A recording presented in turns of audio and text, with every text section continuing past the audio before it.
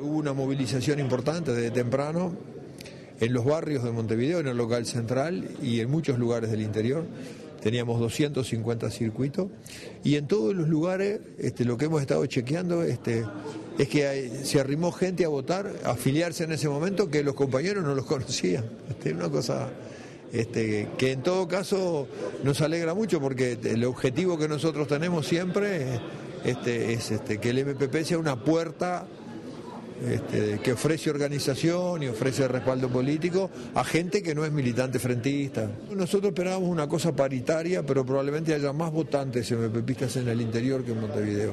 Eso sería una especie de novedad, este, porque en realidad la militancia por un Uruguay socialista y este, la lucha por la liberación nacional siempre estuvo más vinculada a los centros ideológicamente con más organización, este, más ligado a los sindicatos, al movimiento estudiantil. Sin embargo, parece que las agrupaciones del interior este, se están fortaleciendo mucho.